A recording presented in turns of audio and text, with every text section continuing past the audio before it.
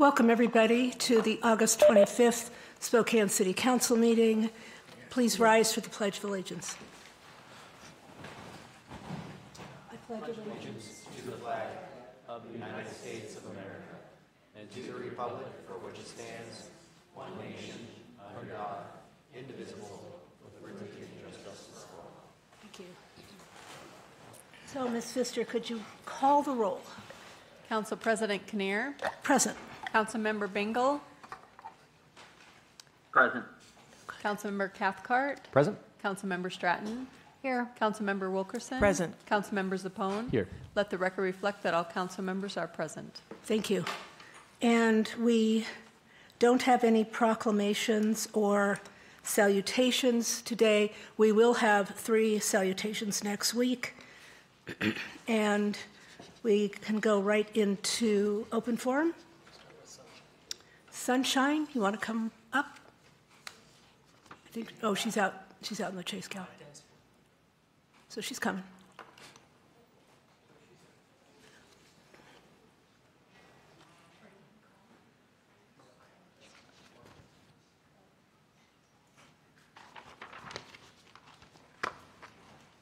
Welcome. You have two minutes. Hi, I'm Sunshine from Spokane. And um, again, I'm going to bring up that nothing's been done about the sex offender living in the Alberta house named Tommy Aldridge.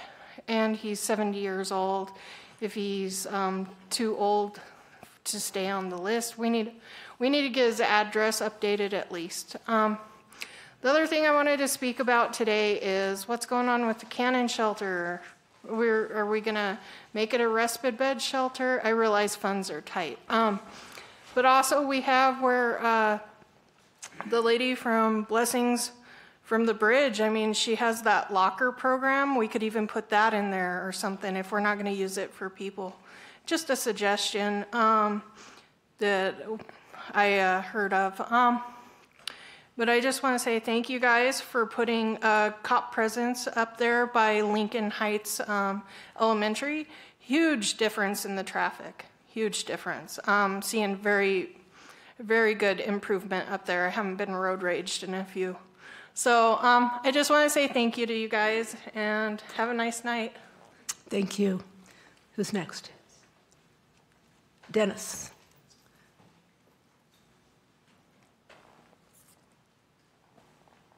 Welcome. You have two minutes.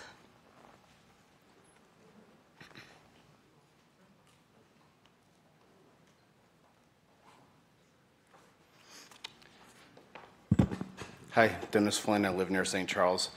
Uh, previously, I've talked here about how the response of our SRHD and the Department of Health and other institutions hold much of the blame for the infringements on our lives, liberties, and rights while making these false claims, obfuscating effective palliative measures, and mandating experimental and unnecessary medical treatments, in which we're involved in a lawsuit for our needed fire personnel.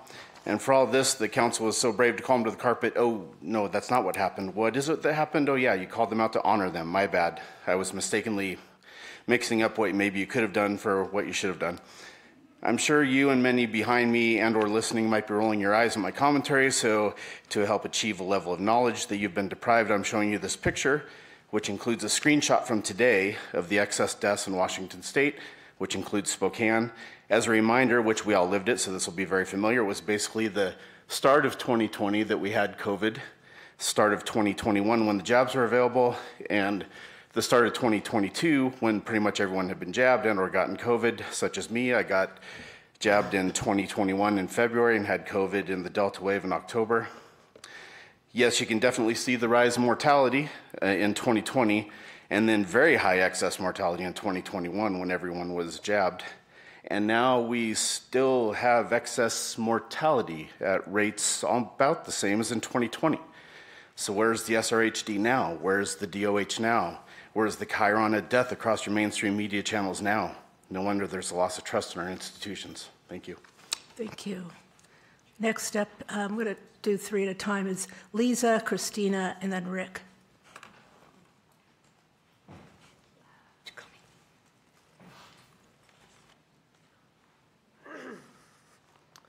Um, my name is Chris Kenny, and I own a house in Audubon Park neighborhood. And I've been in the process for three months of trying to get a ADU permit for my detached garage. And I want you to know I'm not coming here to complain, uh, but I am coming with a viable solution. I, I just don't think you guys are aware of what homeowners are going through. Um, I am a, well, first off, this is the stack of paperwork I've submitted and resubmitted. There's now one piece of paper for every square foot of this 320 square foot building. I'm not going up, I'm not going out, I'm not changing the footprint. And um, so this is a remarkable readmission, resubmission. I'm in the seventh resubmission process right now. It's been going on for three months. I'm a nurse. I am a travel nurse part of the year, and I'm I continuously rent my home and or a room. Currently, have a nurse living with me now. We have a health crisis that's separate, but I'm trying to do the best I can. I'm trying to get this ADU so I have a place to live, and I can rent more rooms in my home.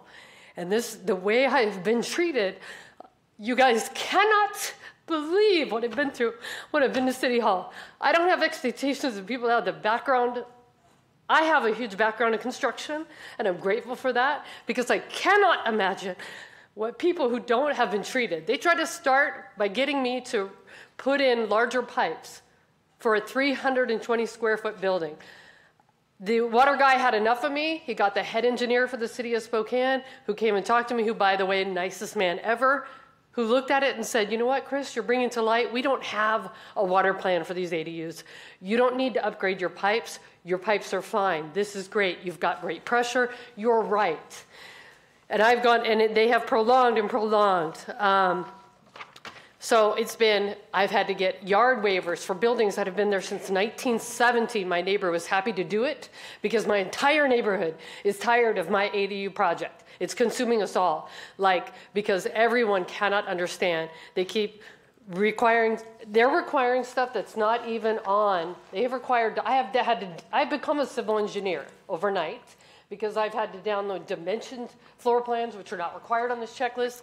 They send you to the WSU website, which is listed on here. Christina, um, would you give your name and your contact information to Terry, and we'll have somebody contact you that'll solve all your problems. You shouldn't have to go through this. Your time's up, but I want you to have some satisfaction. Yeah, could, She's going to waive her time to me because Okay. this is one of my neighbors. Okay. This is how upset my neighborhood, Okay. Audubon Park as a whole, is.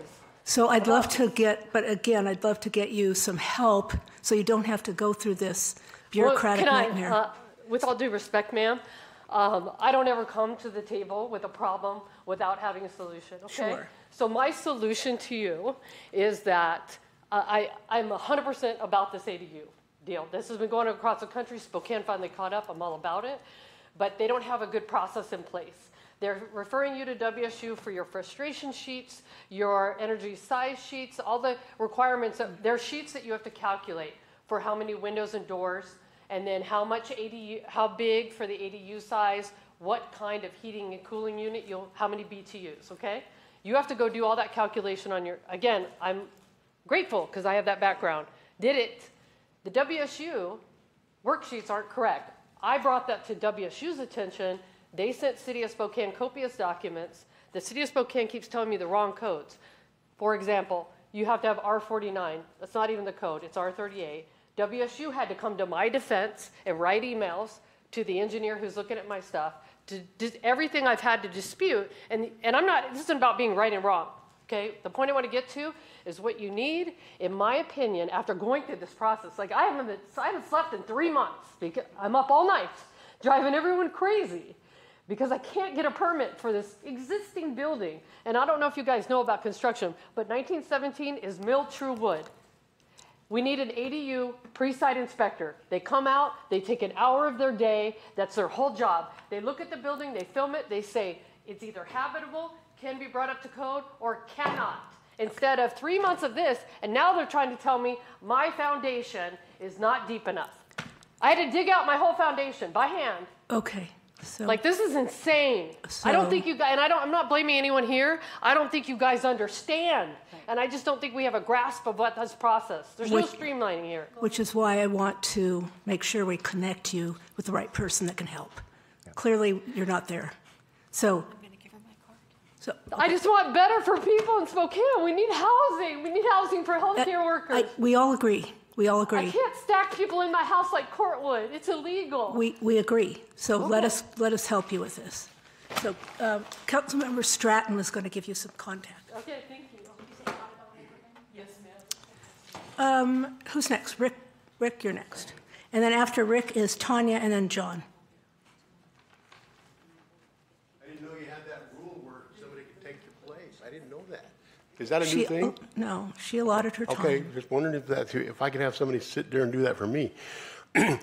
Um, My issue here is about a level three sex offender working at Northtown Mall at a cell phone repair place, kiosk. And the thing is, is that it was very disturbing to me because we don't have a child protection zone anymore. So it feels, it seems like these particular individuals likely to reoffend can pretty much go wherever they want now. The malls, the public playgrounds, the parks. They can go right in front of the schools. I know the school won't let them inside, but they can go on that sidewalk and they can do whatever they want. This is so wrong. It's wrong that this person is working at the mall with hundreds and hundreds of kids. He got caught at River Park Square doing terrible things twice.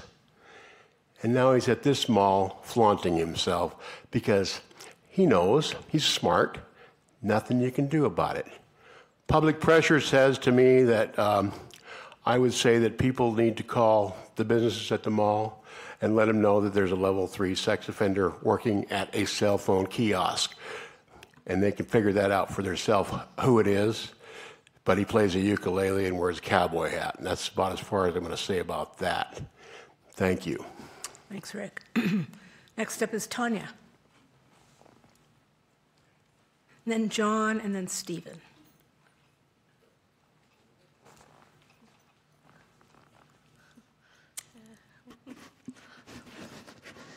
I think that um, apartment complexes now, they need to um, have um, the buildings checked on like uh, every month now. You know to see if they're if they're checking it, uh, on bugs or not. You know, and see see if there's anyone that have bed bugs in their apartments or not.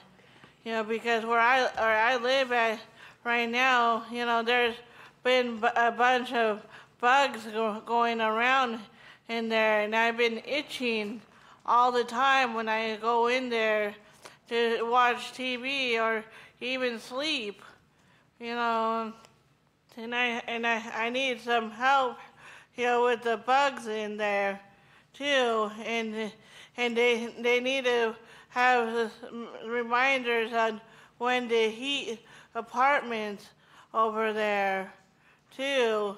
They need reminders every month, you know, when, when to heat heat apartments over there for bugs. Thank you. Uh, John, then Stephen and Megra.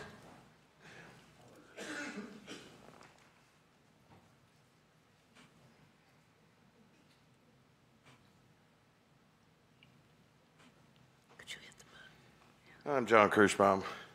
I live on north-south Riverton, right directly across the river from Mission Park.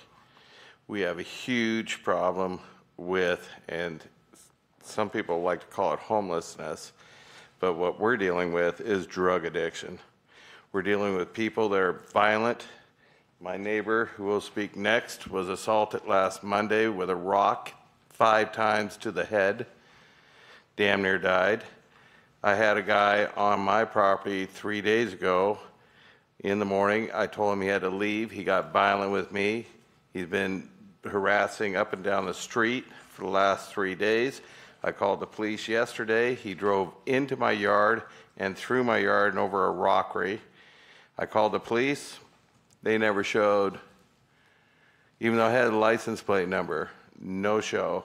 When we talked to the cops, when Steve got assaulted, he said straight up, we can't enforce a law about the no camping on the river because we don't have the resources or the space or the time. We have to deal with higher priorities. So in other words, you pass an ordinance, you pass a law, but it's not enforced. So what's the use of that? So us as neighbors are going to end up having to take care of situations by ourselves because we will not get police response. Our quality of life has gone down. He'll talk next. He's got 15 staples in his head. I'm sure he's not very happy about it either. You need to fund the police. You need to deal with the drug addiction problem. You call homeless problem, you want to build shelters and do all that. That's great for the people that are homeless and need the help. But you're doing nothing about the drugs on the street. People are all over. You can drive down every street in Spokane and see drug addicts doing drugs all over the place. We live right on the river. You know Mike. I do. You know what I'm dealing with. Mike Fagan, good guy. Him and I'd go to lunch. He said, John, there's really nothing we can do. In that sad state of affair in a city of Spokane that we cannot enforce, even enforce your own laws? Thank you. Thank you. All right, we have um, Stephen, Megra, and Joel. Yes, as John said, I'm his, I'm his neighbor. I'm Stephen Reed. I live down on that uh, property. And so last Monday, John and I, we worked really hard to keep the bank clean, try to keep campers out. Down, kind of down the road a little bit from us, uh, there was a camp. And after about three days, we were able to get, get the guys to move. The police helped with that. They came after three days, and we were able to get the guys to move out. And that was great news. But of course, when they carry stuff down to the bank, they don't take it all back up the hill. They'll take down 300 pounds of stuff and they'll take 50 pounds with them when they move. So I spent last Monday, when that's when it was 100 degrees outside, dragging all this stuff up the bank, carrying all, all the garbage up. End of the day, I'm sitting back, it's cooling down I'm sitting by the river. I go, I'm gonna have a glass of wine. So I'm having a glass of wine in my chair. And now it's getting dark, it's dark, it's dark, and, and all of a sudden, I look down, and right where I'd spent all day, six hours actually, uh, clearing the bank, some people were moving back in. So, of course, I'm not smart enough to go inside my house and get a flashlight. So it's dark, and I start walking down the bank to tell these guys, hey, you can't camp here. I spent all day cleaning this thing up. And on my way down the bank, I tripped on a root and fell down on all fours. The next thing I know, a guy grabbed the rock and hit me in the head four or five times. I, after about four times, I kind of lost track. So it was four or five. So I got, I actually got 17 staples in my head, bleeding all over. Well, him and his girlfriend, they, they kind of wander, they wander off. I go, okay, great. I'm going, now I'm going back up the bank. Should be safe. The guy's at the top of the bank. He starts throwing rocks at me. So that's what this is from. So when he's throwing rocks at me, I lifted my left arm to block a rock from hitting me in the face, and it fractured my bone on my arm. So we have to, I don't know what the answer is, but we just, I, I, like John said, I'm concerned that what's going to happen is we, the homeowners, the people that live down there, we're going to take matters in our own hands at some point. I won't be a victim again, right? It's just, it's just not fair to the, you know, we all work, pay taxes, do all the stuff we're supposed to do, try to keep the area clean and, and safe. And plus, there's kids down there. So earlier in the day, there was a, a grandfather with two of his kids swimming. Well, you have these guys down there, the bad actors, well, I don't know if they really differentiate between adults and kids. You don't know. So anyway, I just, the only reason I wanted to come today was to let you guys know that uh, what was going on down there. And we're doing the best I can to make it safe. Like I said, I, I, I know the police are stretched thin with budgets, constraints, and staffing problems, but I'm hoping we can come to a solution. Thank you we- for, thank you for coming down. Well, thank you We're- for your- We're sorry about all this happening. That's how life is. Some days you're the dog, some days you're the hydrant. Steve, I'll be, I'll be reaching out to you tomorrow. I- I'd love to connect and find out more details. Thank you, my friend. You guys, thank you for your time. Thank you. Uh, Next is Megra. Megra's going to be calling in. What? And uh, what is she going to do? All right. Megra, are you there? Yes, thank you. Go ahead. During July 24th city council meeting, a person who was giving testimony was interrupted by a council member. They were not interrupted because they were off topic, and everything they were saying was accurate to the ordinance at hand. City council rules state they should have had three minutes to speak their piece uninterrupted, but that did not happen. A sitting council member interrupted their testimony to mock them. That is deeply concerning and violates city council rules and should be unacceptable. There are already many barriers to being able to speak locally about topics that affect all of us, and mocking an active speaker is a blatantly intimidating act. There are existing procedures when someone is off topic, but none of these were used as none were relevant. Instead, the council member violated rules to express his contempt and mocked an engaged citizen. This treatment is unacceptable for anyone engaging in civil discourse. But I just want to highlight a few things about the citizen that was interrupted. This person has spent thousands of hours making Spokane a better, friendlier place. They started Burritos for the People, a volunteer event that has served 29,553 burritos for hungry citizens since May 2021. For years, they have lost sleep to their detriment to feed Spokanites and help those the city has failed to help. It's a shame that they were treated with such disrespect, and Justice for All deserves an apology for the appalling behavior they received. Thank you. Thanks, Megra.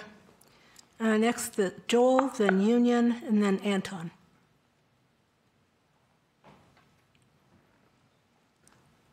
Welcome. I've Got two minutes. I'm Joel James from Spokane.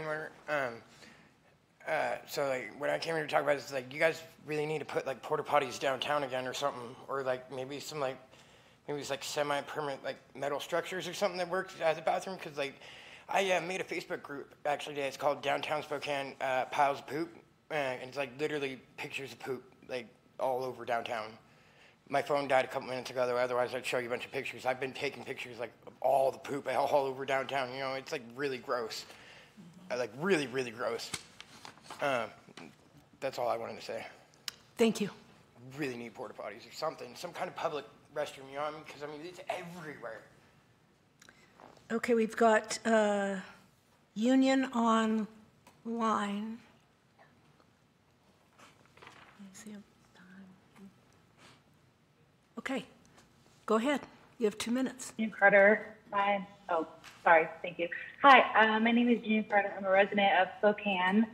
Um, I'm also a community organizer with the Peace and Justice Action League of Spokane. Um, I'm here today to talk about the Regional Housing Authority that's up for vote very soon. Um, and I just wanted to urge the council members here today to delay that vote until Um, sorry, December. Union? I think that there's Union, a lot of Union, it's on next week's agenda, so that is not a topic we can discuss tonight. Oh, okay. Well, I'll send it next week. Thank you. Okay. Uh, Antoine. And then Sherry Barnett, and then Will.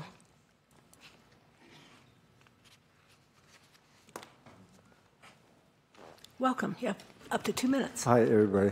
My name is Anton. Okay, I just like to say, like some of these guys said about the drug use in uh, where we feed the burritos on Sundays. I mean, you know, I mean, the cops are there. I mean, why? What's holding them?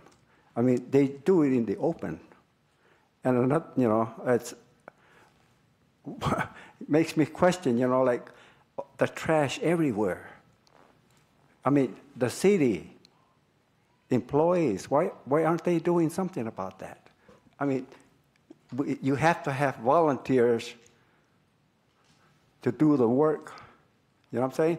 I mean, we're talking about this is not a, a, a- Democrat thing. This is everybody. It's Republicans. I don't see no Republicans volunteer. I mean, you're talking about and complaining about homeless, but I don't see you out there trying to do anything. Just maybe a handful, something to think about. I mean, is a Republican to spend the money? But when it comes down to picking up trash and doing to bring up the community, it's not their job. It's the Democrats, it's the people of color pick up the trash. What kind of shit is that? That's bullshit. You know? And I agree with what this, I don't- I don't blame them. They're Republicans and they're complaining. What are you guys doing about it? Nothing. You know? Think about it. Thank you. Thank you. Uh, Sherry, then Will, and Dave.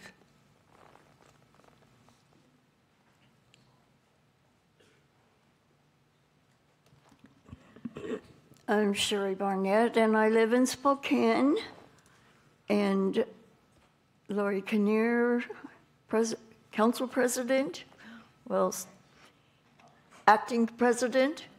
No, I'm and not all acting. members of. No act here. okay. You know, you all know that in the beginning, I came here because I had one day off from something that I always did on Monday night, and I saw the direction Spokane was going.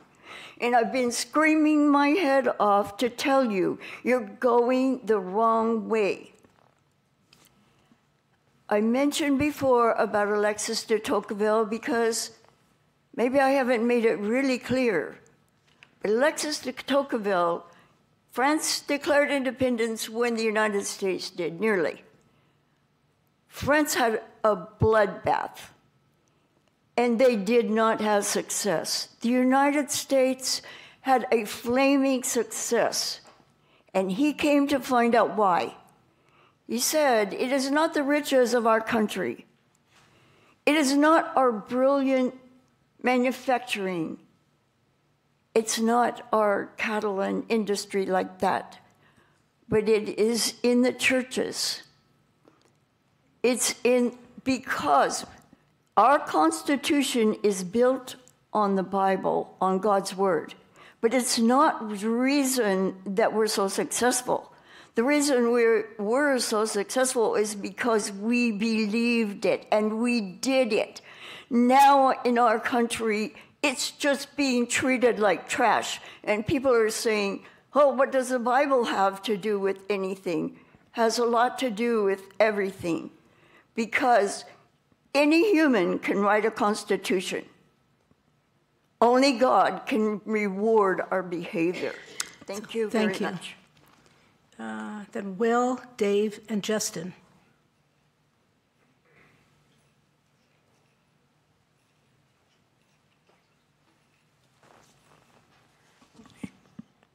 Good evening. My name is Will Hewlings, live downtown.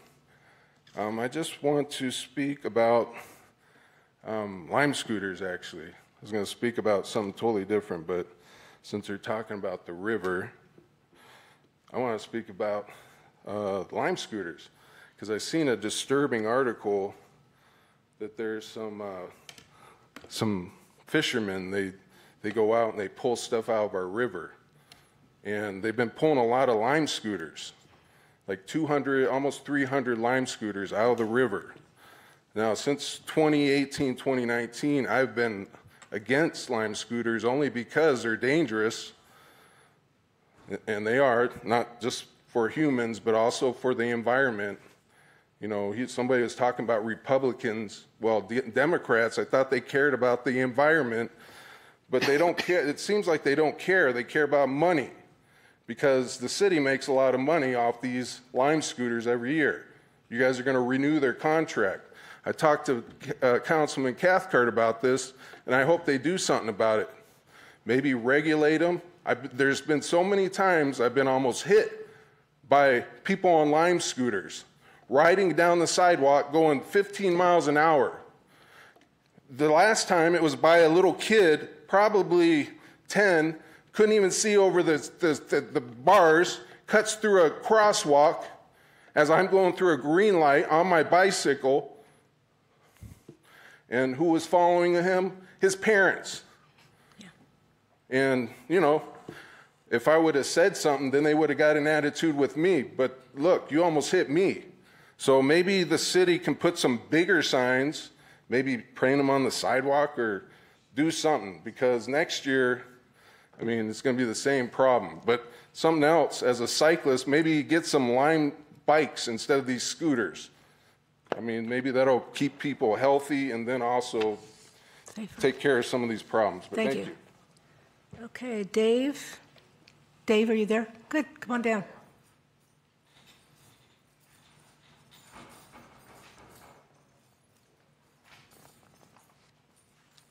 Good evening, folks. Dave Billsland, Logan neighborhood. I have a problem with the way this city deals with things, namely the shelters for air, we had the worst air in the world a couple of days ago? Where was their shelter? You're going to send us to the, the TRAC building? They don't even have air conditioners there. And what about earlier in the week? 107 degrees? Where's a person to go? I don't have air conditioning. You know what I did yesterday and the day before? I put up a box fan with a furnace filter behind it. Because that's all I could do. Because going someplace didn't make sense, because then I'd just have to leave. Now, if it's someplace comfortable, a person could stay overnight, even if it's on a freaking mat, just to get relief from that. I have emphysema. You think I want to be out in that? How many other people out there in my same condition? How about with 107 degree temperature? How many did we lose? I work with Cool Spokane. We hand out water. And it just so happens the MAC movement does it right out here in front of City Hall. Trying to help you guys look good. the point is that this stuff is necessary. You need to find someplace to get away from the heat. You need to find someplace to get away from the, the, the bad smoke. And you need to find someplace to get away from the freezing, freezing cold. We need to work on something more than just the libraries and a TRAC Center. Maybe open up some churches and stuff. Maybe open up some city buildings. That would be up to the mayor. Thank you. Justin and then Mark Finney.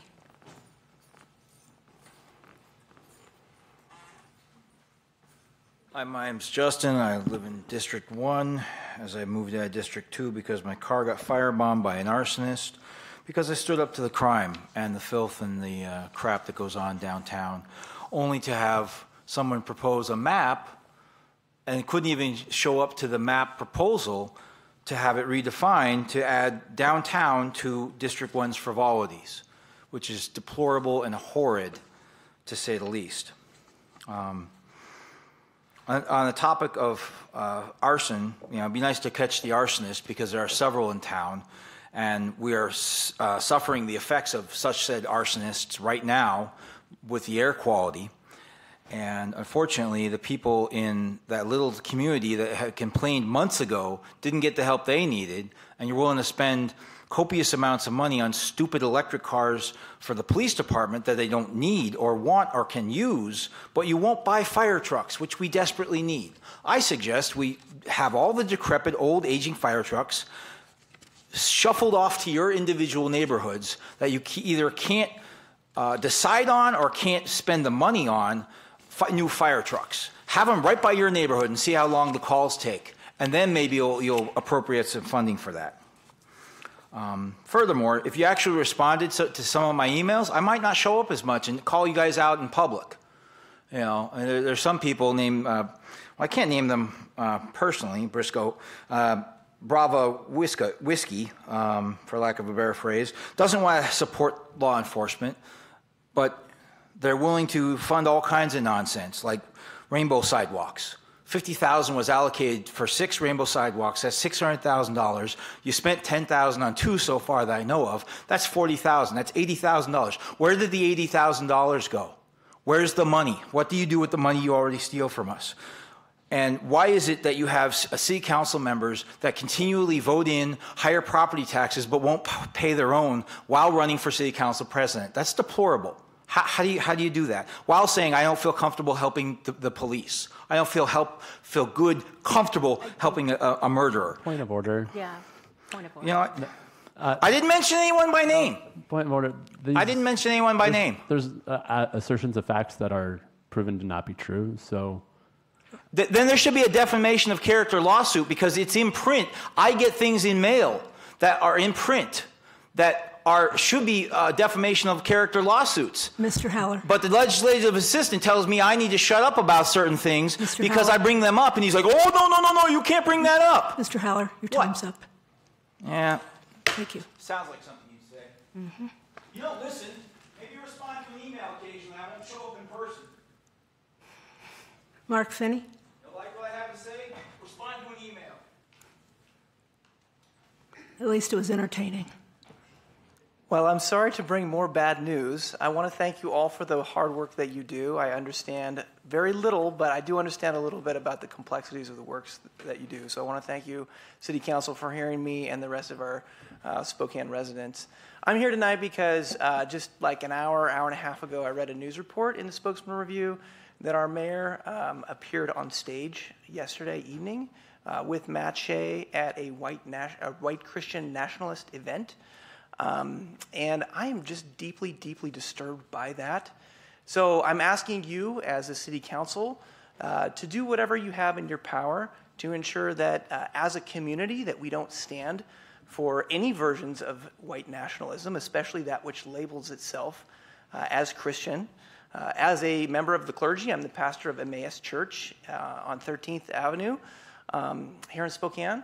Um, I am, uh, I cannot find the words to tell you how upsetting it is to me that our, uh, our figurehead of our city would be seen next to somebody who has espoused violent, uh, hateful rhetoric and, um, and terrible, terrible things. Uh, in my day job, I work with um, refugees, immigrants, other groups of people. At my previous workplace, we were the victims of um, uh, targeting for uh, white nationalist and hateful literature. And um, I personally know many, many people who have experienced the very worst of this kind of behavior. And so I'm asking you, whether it's through a resolution, whether it's through some kind of censure, whether it's through a public statement, uh, to do something very clear to send a signal that the kind of behavior that we just experienced from our mayor last night cannot be repeated. Thank you very much. Thank you. Appreciate you coming down. Okay. Oh, we didn't, okay. Jamie, abso- is she here? Oh, Jamie, come on down. We're going to do a quick poetry.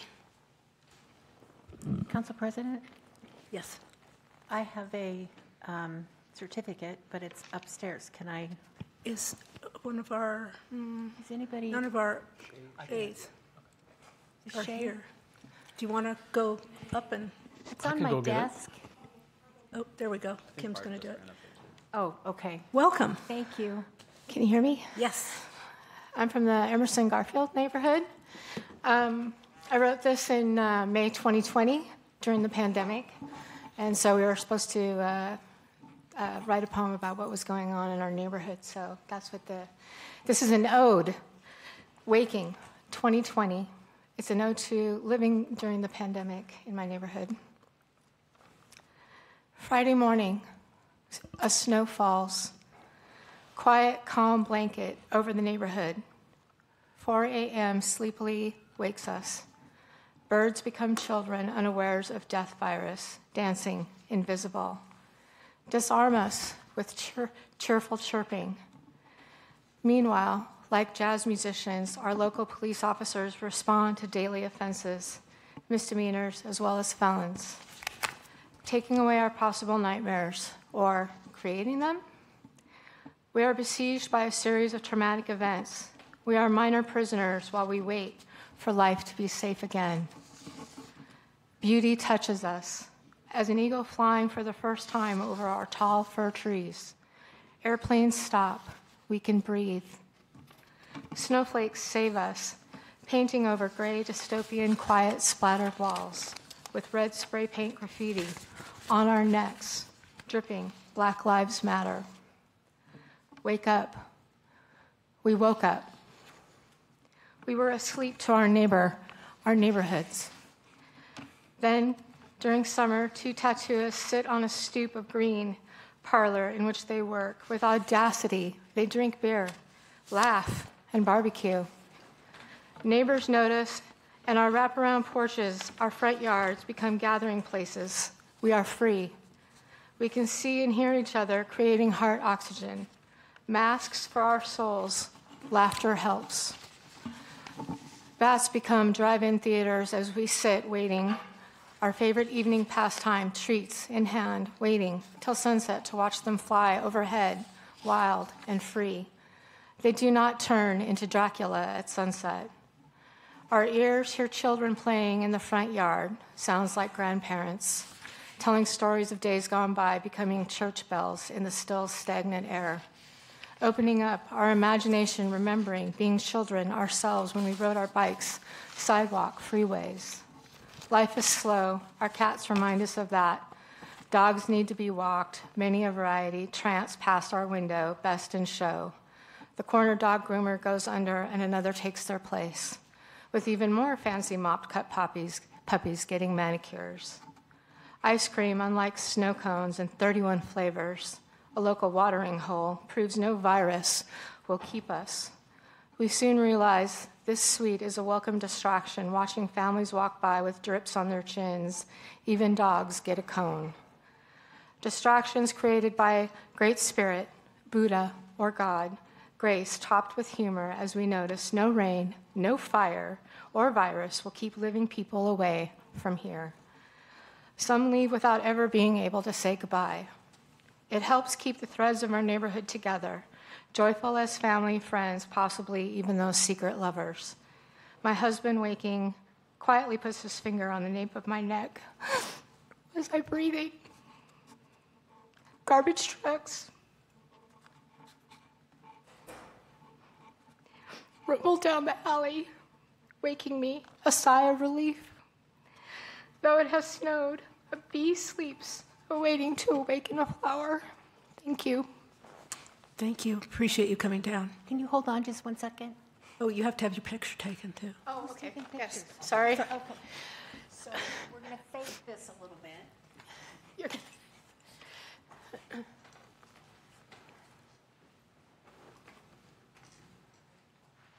Goes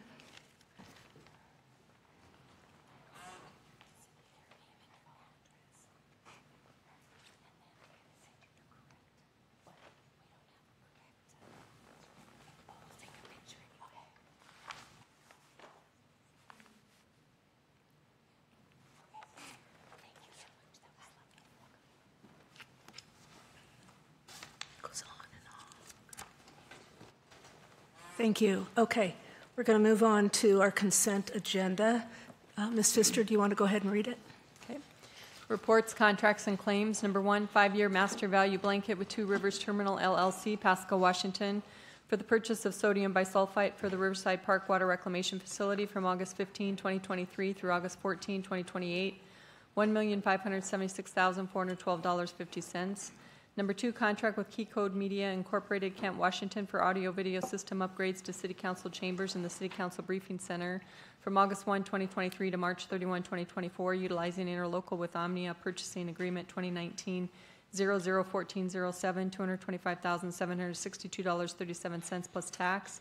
Deferred from July 31, 2023 agenda relates to Special Budget Ordinance C 36419. Item number three, Agreement Amendment B with Salvation Army Spokane for operation of the Trent Resource and Assistance Center, increasing funding from additional sources under REIT 1, Washington State Department of Commerce, row funding, and ARPA, $3,500,000. Total contract amount, $9,140,586. Deferred from July 31, 2023 agenda.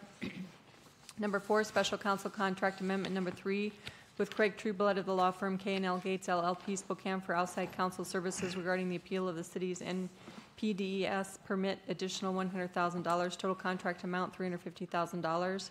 Number five, contract with Volunteers of America Spokane to disperse funds for development fees and construction activities for the Crosswalk Teen Shelter and transitional housing located at 3024 East Mission Avenue from August 1, 2023 to December 31, 2023, not to exceed $1 million. Number six, consultant agreement amendment with DOWL LLC Redmond, Washington to provide for additional tasks supporting the citywide traffic calming program from September 1, 2023 through December 31, 2024, additional $216,026.80. Total contract amount, $766,026.80. Number seven, reimbursement agreement with Spokane Transit Authority to reimburse the city for direct and indirect costs associated with preliminary engineering and design of the Division Street Bus Rapid Tran- Transit Project, $100,000 revenue. Number eight, Public Works contract with Weatherproofing Technologies Incorporated, Beachwood, Ohio, for Martin Luther King Community Center, 2023 roof improvements from August 21, 2023 to March 1, 2024, $797,830 plus tax if applicable. Number Nine, report of the mayor of pending any claims and payments of previously approved obligations, including those of Parks and Library through July 28, 2023 total $13,090,584.93 with Parks and Library claims approved by the respective boards. Warrants excluding Parks and Library total $12,260,497.78. B, claims and payments of previously approved obligations, including those of Parks and Library through August 4, 2023, total $7,924,664.69. With Parks and Library claims approved of the respective boards, warrants excluding Parks and Library total $7,560,439.06. C, claims and payments of previously approved obligations, including those of Parks and Library through August 11, 2023, total $10,942,882.03 with Parks and Library claims approved of the respective boards. Warrants excluding Parks and Library total $10,676,514.48.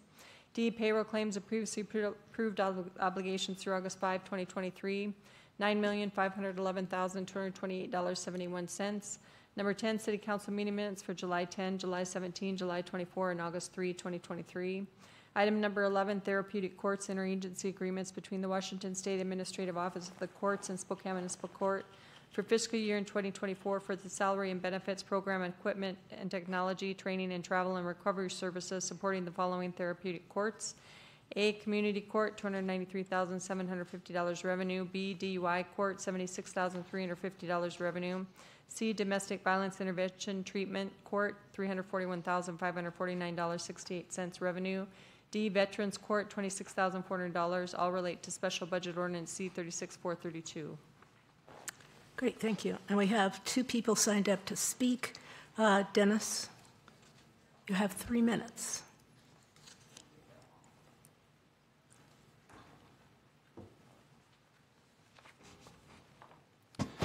Hi, Dennis Flynn. I live near St. Charles. Talking about the DOWL item on there, um, but could be talking about several other things, and I brought up the same thing on other things on the consent agenda before, as well as other things. Uh, we have to do better than just filling in the blanks with, you know, words.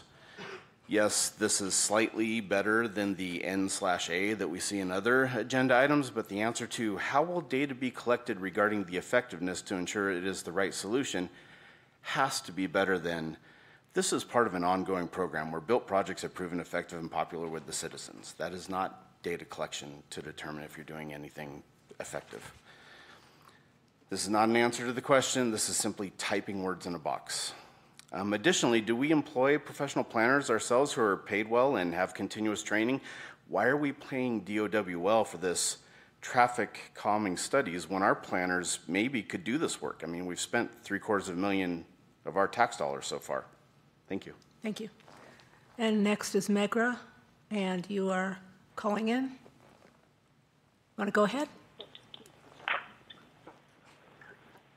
Um, OPR 2023-0826 is a five-year contract to purchase sodium bisulfite for the Spokane River.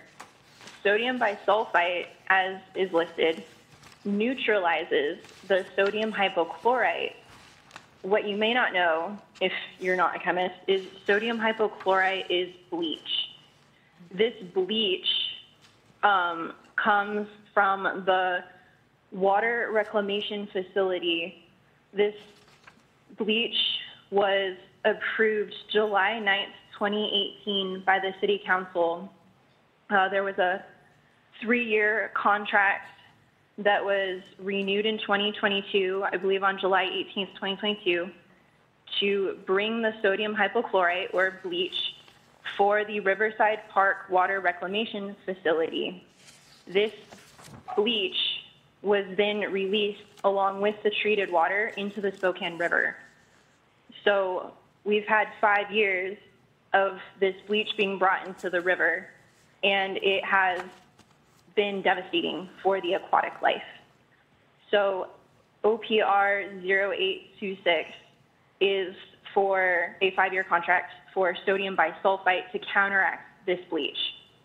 Um, on page 18 of the council agenda, it states that there will not be any data collected regarding the effectiveness of this program because it is critical for wastewater treatment and it is critical. We need to counteract this bleach that has destroyed a lot of Spokane's aquatic life. But in the 2018 July 9th City Council It was also dismissed. The previous contract for bleach also did not collect data. It also said it did not need to collect data. It dismisses unnecessary compared to the necessity of treating wastewater, and it has taken five years to start to counteract the devastating effects of this. This data is important, and while we need to counteract this bleach, we also need to make sure that we're not having unintended consequences. And not collecting data should not just be dismissed as unnecessary again so that we don't continually play catch up. Um, OPR 2022 0644 would spend another $100,000 on legal services appealing the National Pollutant Discharge Elimination System Permit, or NPDES. This is a long name for describing the permits that dictate acceptable and unacceptable levels of pollutants in our water. The city is suing Washington State Department of Ecology with the trial set for 2024 over these permits. These NPDES permits are supposed to be issued every five years, but these 2022 permits were the first issued since 2011 Megra. because of an extension that was granted in 2016. Megra, Megra, your Spokane ti- counties. Megra, your time's up. Oh, thank you. Thank you. All right. Council members, discussion? Can we do three separately? Three separately? Yes, we can. All right. So anything else that you want separate? So could I have a motion to um, accept the consent agenda except for three? So moved. Second. Right. All those in favor? Aye. Aye. Any opposed? Right. And now number three. Uh, I guess I'd still move to defer it for one week. Okay. So is there a second for that? I'll second that. Discussion? Yeah, so after receiving the email from Jen Cerecedes, I still have remaining questions. Jen stated that $750,000 was the average of the last months dating back to last November, but in fact, only one month was over that amount of 808,000. The rest were 700 and below, 716 and below. So that does not seem accurate to an average. Um, we also didn't receive the information that she said would be sent from Michelle Murray about the ARPA terms and conditions. Um, the email did state that they have a balance in there of 761,000, which would cover the August costs for now. So for that reason, I think there's a lot of questions and information that's not clear on this contract that I'd support um, deferring it for one more week to see if we can get more answers on. Go ahead. There's enough, did you say there's enough to cover August? The email says to cover August costs. So if we waited a week, Yeah, yeah, with that clarity, I'm happy to wait the week. okay. Okay, Okay, so are you seconding his motion? Uh, Betsy already. I already Oh, second. you already seconded, okay. Uh, Anybody, anybody else want to just talk about this, or we're done? We good with this? Okay. If we get some more information, yeah. Yes, so all in favor of deferring for one week? That would be August 28th. Say aye. Aye. And there are no nays. Um, Councilmember Bingle, how do you vote?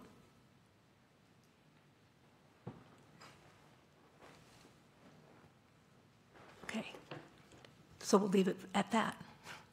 Thank you. All right, let's move on, Ms. Pfister, to legislative agenda. Ordinance C thirty-six four eighteen, amending ordinance number C thirty-six three forty-five passed by the City Council December 12, 2022, and entitled, an ordinance adopting the annual budget of the City of Spokane for twenty twenty-three, making appropriations to the various funds of the City of Spokane government for the fiscal year ending December 31, 2023, and providing it shall take effect immediately upon passage and declared an emergency and appropriating funds in. Ordinance C thirty-six four eighteen, General Capital Improvements Fund, number one, increased revenue by one million four hundred thousand dollars. A of the increased revenue, one million four hundred thousand dollars, is provided by Washington State per Senate Bill fifty-two hundred for expansion of the Spokane Police Department Academy. Number two, increased appropriation by one million four hundred thousand dollars. A of the increased appropriation, one million four hundred thousand dollars, is provided solely for construction of fix- fixed assets. This action arises from the need to accept the Washington State budget allocation for Spokane Academy expansion, deferred from July 31, 2023 agenda. Thank you. We have two people signed up, Dennis and Megra. You have three minutes. Dennis Flynn, I live near St. Charles. Tendencies today are to blame groups, and everyone in that group as the perpetrators of evil. It used to be that everyone knew that there were bad individuals in every profession, whether lawyers, doctors, city council members, county commissioners, legislators in Olympia, carpenters, plumbers, checkout clerks, or police. All too often, we hear something akin to ACAB or all cops are bad, as if to say that the police in general, and therefore each individual police officer, is a systemically racist authoritarian, when the reality is sometimes a good person who is good at his job will make a mistake that has a serious result. And of course, there are still the individuals that are plain bad and shouldn't be on the job.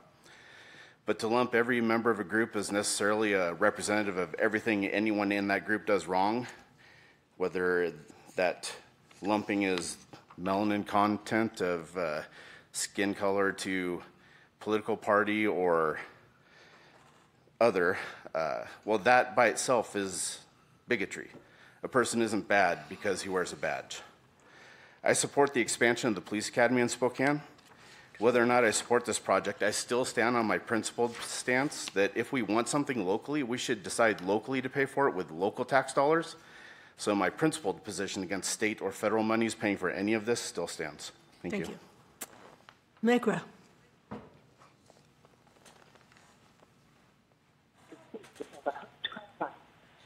Um, This ordinance is accepting the funds for police academy expansion that the state approved during their legislative session. Yes. Per capita, Spokane Police Department is the third deadliest police force in the entire nation. This can be corrected with de-escalation training, and this de-escalation training can and should be done at this revamped police academy.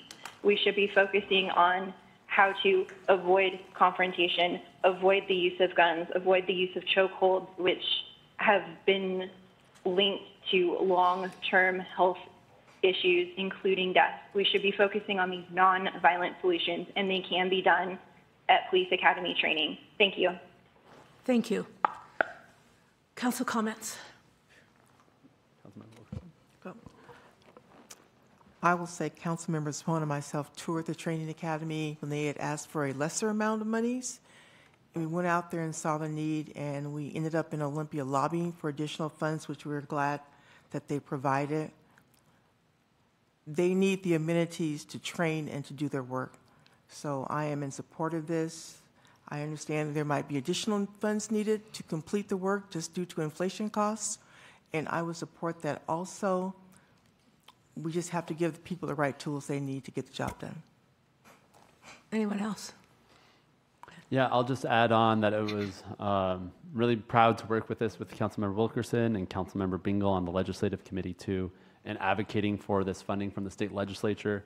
Um, this is a great investment in our local police officers and our facilities that are inadequate. We we saw that desperately. The the carpet and all the the facilities there were inadequate. Um, I know that this was not coming as quickly as the the police wanted it. They wanted some renovations about a year ago, but I'm hoping that this will be much more than they had requested even at that time. Uh, I think that's really important to show our commitment and dedication to our police officers and um, our advocacy for that. I think it's also important to note that the legislature at this time, or at the time last session, was already looking at investments in police training academies across the state, but was not looking at Spokane. And so, because of our advocacy, we were able to get that investment here in Spokane that would not have happened otherwise. So, I was glad to work with you and go to Olympia to advocate for that. Anyone else? Well said. Okay. All right, prepare to vote.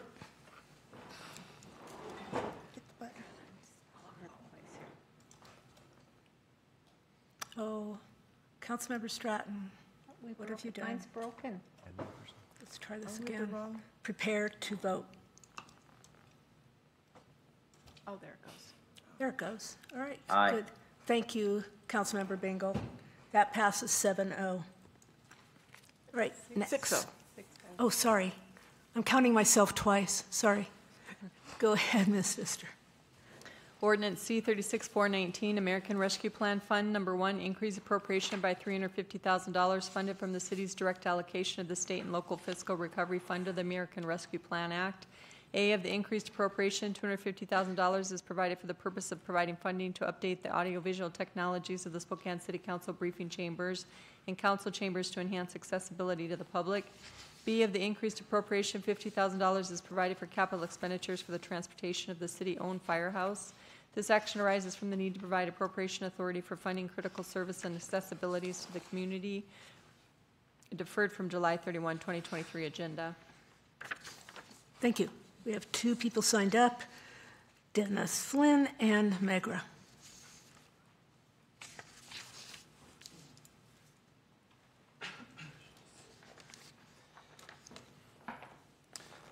Hi, Dennis Flynn. I live near St. Charles. I'd like to point out that too many people think there's an unlimited printing press that equates to limitless fields of money trees, and that there are none, zero, nada, negative consequences to printing all this money. ARPA, Infrastructure, CARES, Inflation Reduction, or should I say Production Act, it's ignorant to think that all these disgusting decisions by politicians to spend my money on someone else, which is the least efficient utility of allocating money, is going to not result, result in willful misallocations of capital, zombie companies that should fail, failing companies that would succeed if the deck wasn't stacked against them. And obviously, to anyone who has done any grocery shopping or filled their gas tank, massive inflation of all the things we need just for daily life, let alone saving for any big purposes, purchases. Case in point is the 250,000 of ARPA American Rescue Plan Act funding to buy audiovisual equipment for this room and 50,000 to move our tiny house for fire and smoke education. Do I think we should spend money on these things? Probably. But I'd have to hear the why to spend our money on these things instead of other things. Do I think we should pay for these things ourselves with local tax dollars? H E double L yes. Do I think we as a county should country should I'm sorry, do I think we as a country should allocate 300,000 of federal tax dollars to Spokane buying AV equipment and moving a tiny house? Well, if it sounds ridiculous, then it probably is. I know it's only a tiny drop in the bucket, but what we keep hearing about leaky faucets and toilets is that all those little drops make up a huge total. So pull your heads out, people. Tell Catherine McMorris Rodgers, Patty Murray, and Maria Cantwell that's ridiculous that federal funds are being spent like this. Thank you. Thank you. Megra?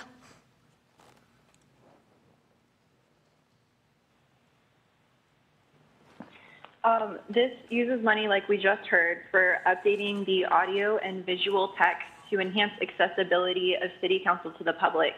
This increased accessibility is very important and it's vital for engaging for increasing citizen engagement and increasing citizen knowledge about what is going on in the city, in the county, in the world that affects them. Page 384 of the agenda in the summary says, quote, the city's informational technology and city channel 5 teams worked with the provided to determine the appropriate needs. This is a great, this is great to increase the availability of these videos for people who cannot attend these council meetings in person, for people who cannot listen at five at 6 p.m. on a Monday, for the people who need to be able to watch this later, having these videos more widely available, having these videos up on the Spokane City website, having these videos on Facebook all of this is important in increasing civic engagement and citizen knowledge. This is good. I yield the rest of my time. Thank you. Thank you. Council comment. Well, as evidenced by tonight and other nights, our technology is woefully inadequate for what we're trying to accomplish, and the technology has improved significantly so I'll be supporting this. It is a way that we connect with our constituents and how we communicate with them and to make it the most efficient, effective way to get the word out about what goes on at your city hall and how we communicate with each other. Thank you. Anybody else? Go ahead. Yeah, I would also just say we've already funded the uh, new and improved fire safety house. This is just funding the vehicle to tow it, and um, the fire department went around and got private donations that paid for uh, about half of the vehicle too. So this is matching it. And I think it's, as we know, it's critically important to be supporting that fire safety.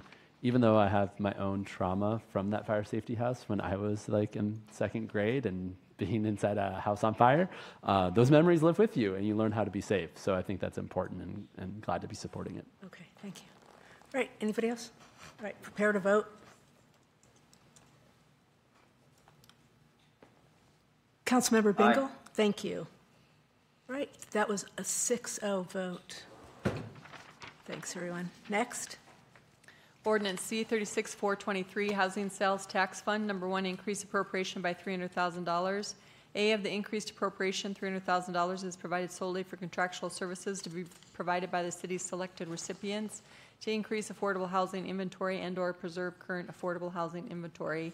This action arises from the need to increase affordable housing inventory for low to moderate income households in the city of Spokane. Thank you. We have one person signed up, uh, Dennis Flynn.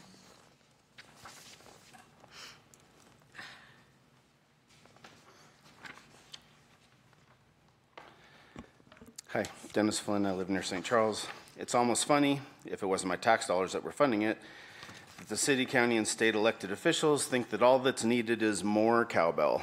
That if we just give more taxes and give up more of our rights, that somehow the government, which obviously is made of individuals who are enlightened above the rest of us and will perfectly make perfect decisions to achieve perfected outcomes, Maybe instead you could identify problems, engage the citizens and businesses to come up with solutions, and then ease the way for the private sector to provide those solutions.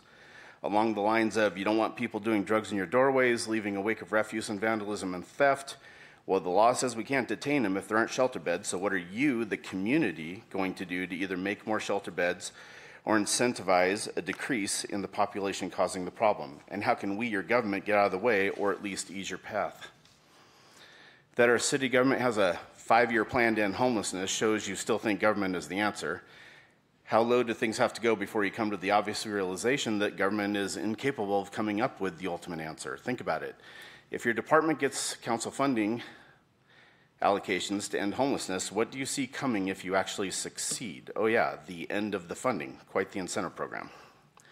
There are multiple federal, state, county, and city buckets that have poured gasoline on our affordable, affordable housing problem. So there is no one thing that is the ultimate problem. But what I can tell you is that anyone with eyes to see just needs to look at an affordable housing graph over time for Washington State. And you'll see the Growth Management Act, our state legislatures forced on us, as a huge contributor. And it will be impossible to fix as long as there are government interferences in the supply demand curve because basic economics tells us restricted supply will obviously mean an increased price. Thank you. Thank you. Council commentary? No? All right. Prepare to vote. Councilmember Bingle? Aye. Thank you. Another 6-0 vote. Great. Moving on. Are you adding those up for your uh, tenure as council president? Yes, I am. Thanks for noticing. This one I will read in its entirety. Ordinance number C thirty-six four thirty-two, an ordinance amending ordinance number C thirty-six three forty-five passed by the City Council December twelfth, twenty twenty-two, and entitled, an ordinance adopting the annual budget of the city of Spokane for twenty twenty-three, making appropriations in the various funds of the city of Spokane government for the fiscal year in December, ending December 31, 2023, and providing it shall take effect immediately upon passage and declaring an emergency. Whereas subsequent to the adoption of the 2023 budget ordinance number C 36345 as above entitled, in which passed the City Council December 12, 2022, it is necessary to make changes in the appropriations of the miscellaneous grants fund, which changes could not have been anticipated or known at the time of making such budget ordinance. And whereas this ordinance has been on file in the city clerk's office for five days now, therefore, the city of Spokane does ordain section one, that in the budget of the miscellaneous grants fund and the budget annexed thereto with reference to the fund, the following changes be made. Number one, increased revenue by seven hundred thirty-eight thousand fifty dollars. A of the increased revenue, two hundred ninety-three thousand seven hundred fifty dollars is provided by the Administrative Office of the Courts for the Community Court. B of the increased revenue, seventy-six thousand three hundred fifty dollars is provided by the Administrative Office of the Courts for the DUI Court. C of the increased revenue, three hundred forty-one thousand five hundred fifty dollars is provided by the Administrative Office of the Courts for the DVIT Court. D of the increased revenue, twenty-six thousand four hundred dollars is provided by the Administrative Office of the Courts for the Veterans Court. Number two, increase appropriations by seven hundred thirty-eight thousand fifty dollars. A of the increased appropriation, three hundred sixty-six thousand nine hundred thirty dollars is pro- provided solely for the base wages and benefits. B of the increased appropriation, nine thousand two hundred fifty dollars is provided solely for minor equipment. C of the increased appropriation, $53,600 is provided solely for travel. D of the increased appropriation, $300,270 is provided solely per- for professional services. Section two, it is therefore by the City Council declared that an urgency and emergency exists for making the changes set forth herein. Such urgency and emergency arising from the need to accept the administrative office of the court's therapeutic court grants, and because of such need and urgency and emergency exists for the passage of this ordinance, and also because the same makes an appropriation, it shall take effect and be enforced immediately upon its passage. All right, thank you. We have one person signed up. That is Megra. You want to go ahead?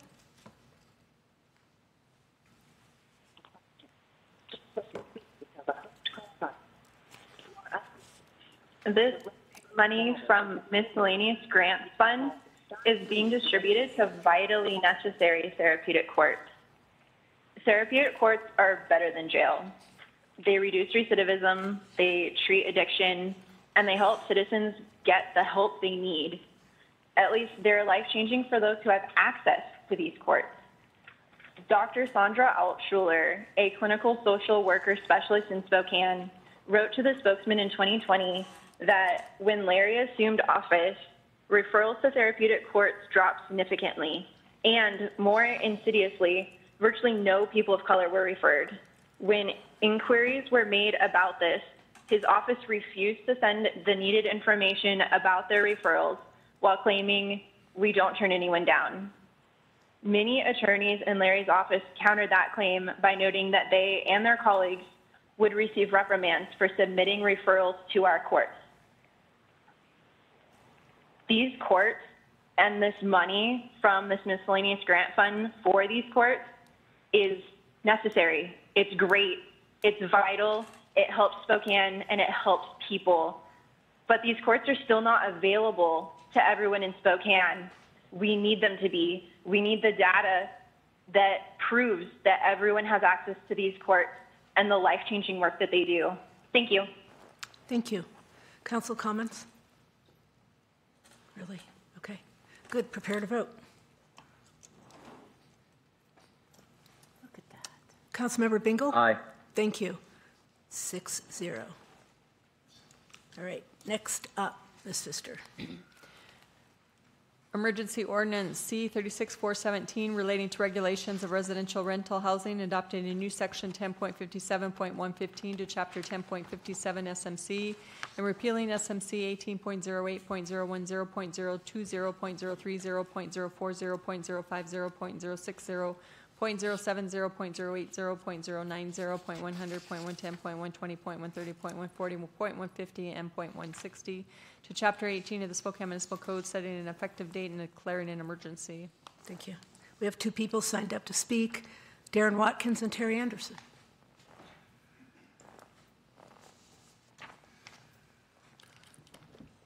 I just want to thank you for the work that you've done on this, but more importantly, all across Spokane tonight, people are rejoicing because it's raining. Thank you. Thank you.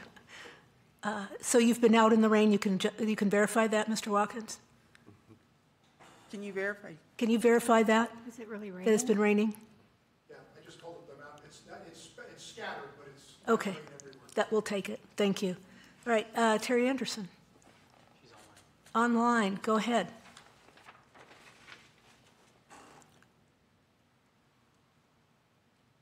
I hope I can be heard. My name's Terry Anderson, and I'm the director for the Spokane office of the Tenants Union of Washington State. And uh, I attended the meeting two weeks ago when this was originally on the agenda. And um, I have been contacting attorneys throughout the state to find out why landlords in Spokane think they cannot evict tenants. They, they can. The eviction resolution um, pilot program that was created during COVID and after the uh, eviction moratorium ended. Um, the state created a program called the Eviction Resolution Pilot Program, in which tenants would um, go, there would be a mediation process. It involved the right to counsel, which is a permanent state law. Um, and that program ended on June 30th um, of this year. We have been talking to tenants every day on our hotlines um, from Spokane and every other part of the state who are being served with evictions and are going to court and are defending their evictions. And the reason I, I don't know if I'm really testifying against what, what you're doing tonight, um, because the, the ordinances that you're repealing are no longer in effect because the ERPP ended, with the exception of three ordinances, and that's why I'm a little concerned. Uh, Spokane, uh, Spokane Municipal Code 1808010 creates rental assistance. Rental assistance is still an ongoing program. The state will continue to fund. And so that, I mean, I don't know that whether you need to repeal it at the local level, but that is, that will continue to happen. I'm worried that, that this is going to um, give out some misinformation and that tenants will feel they don't have protections. They do. And um, the other one is 1808100. Now, that's not a law, but Spokane Police Department do not um, enforce evictions. That is the function of Spokane County Sheriff. And so I don't even know why that, that ordinance even exists because it just doesn't happen. But the one I'm most concerned about is 1808130, right to counsel. That's a state law that was passed before COVID. Um, City Council cannot repeal that law because it's a state law. It was passed by our state legislature, I think in the 2018-2019 session. Um, and tenants do have a right to counsel, and more than anything, I'm here, so if any renters are listening or hear about this, I want them to know they still have the right to counsel, even if you repeal this ordinance, because this is a state law. Tenants should go to court when they're served a summons, so they can get their counsel appointed, and that they can be defended in their evictions. I don't want your action tonight to mislead Spokane renters into thinking that they, that this will end Terry. their protection. Terry, Terry. They don't end. Thank you. Thank you. All right. Council commentary. Great. Prepare to vote.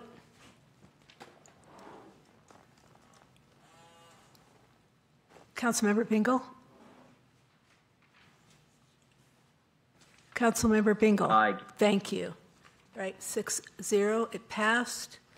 And on to the next one. Okay. Ordinance C thirty-six four thirty-three, and I will read this one in its entirety.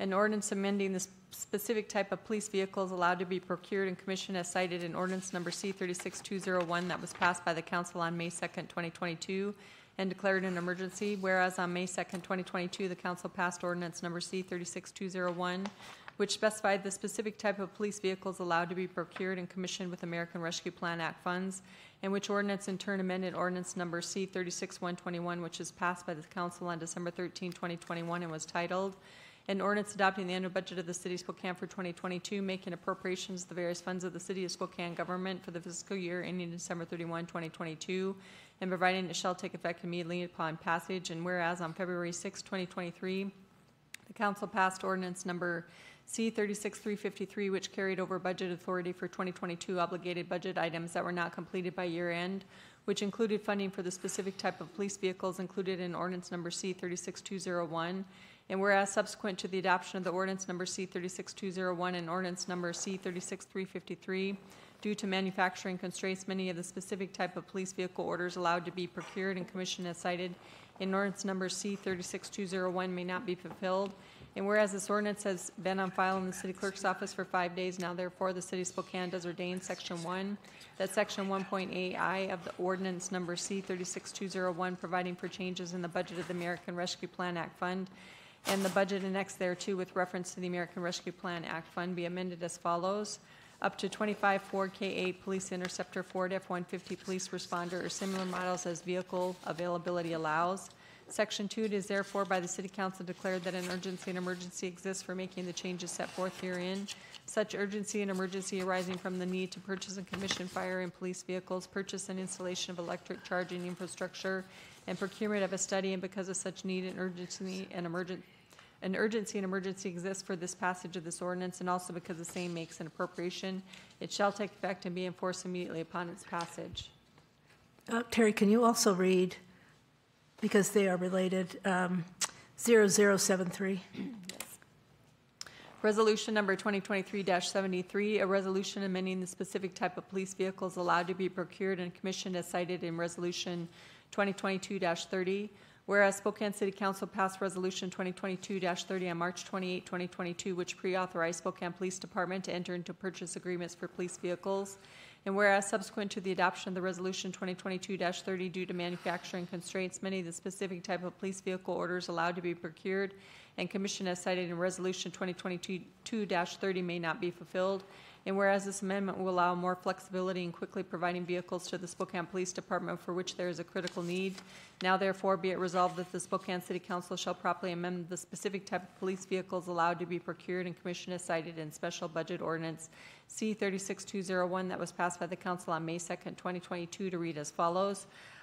Up to 25 4KA Police Interceptor Ford F-150 Police Responder or similar models as vehicle availability allows.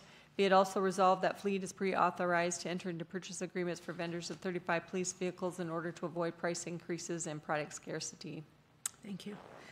We have four people signed up. Uh, Megra, you're on first.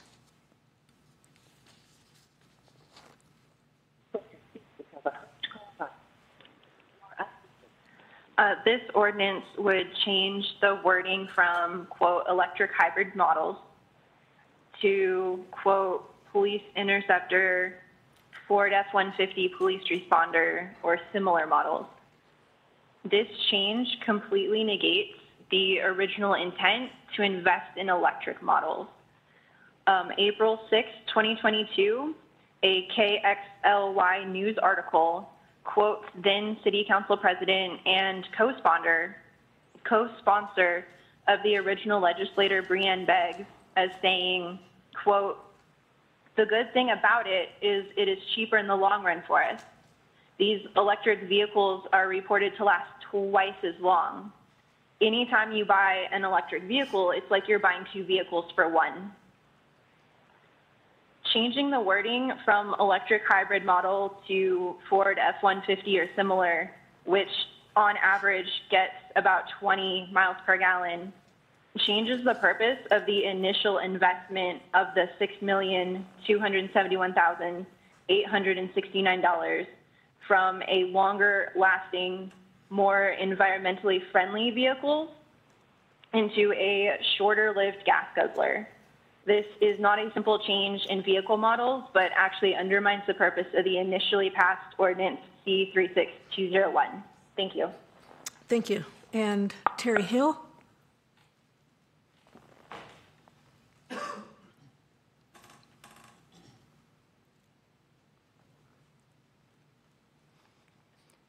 Good evening, Council President, Council members. Thank you for the opportunity to speak here tonight. My name is Terry Hill, longtime Spokane resident. Um, there's a lot more detail read by Ms. Pfister earlier. I don't know how she reads all that stuff so fast. Um, so I may be a little bit off base here, but as I understand it, currently the city requires all new purchase, all new vehicle purchases to be EVs or hybrids. I do not understand why you would want to change that. Vehicles you purchase today are going to be on the road for five more years. Fossil fuel vehicles will be spewing carcinogens into our air and cooking our planet for five more years. When you consider this resolution, think about your, well, some most of you are too young to think about your grandkids. Think about your kids. Do you want them to experience what our neighbors 17 miles southwest of here are going through right now? Apparently, there's a window of opportunity here that the city doesn't want to miss, and I may not fully understand that. But the window of opportunity that concerns me is the life of our planet. It's closing, and it's closing a lot faster than anybody has predicted for a lot of years. We keep, and I'm, I'm going to cite precedents here because I heard this word spoken earlier. If we continue with this fossil fuel bullshit, we're going to cook this planet to our own detriment. Thank you. Thank you. Sherry Burnett.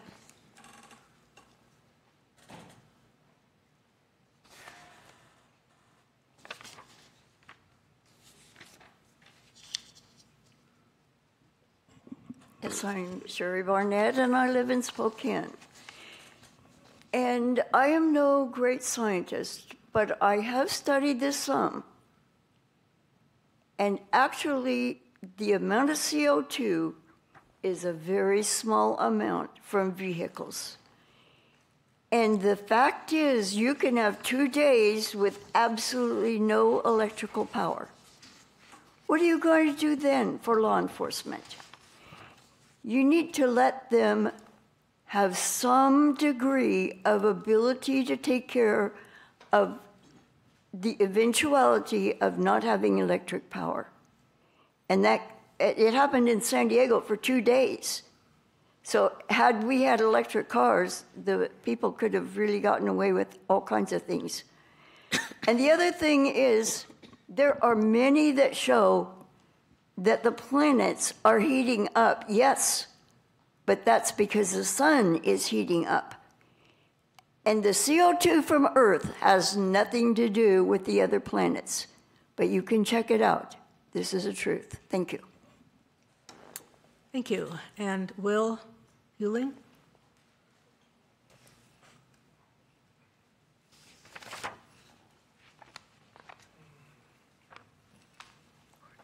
Good evening. My name is Will Hewlings, live downtown Spokane. Um, I'm actually for this. I'm glad you changed the wording.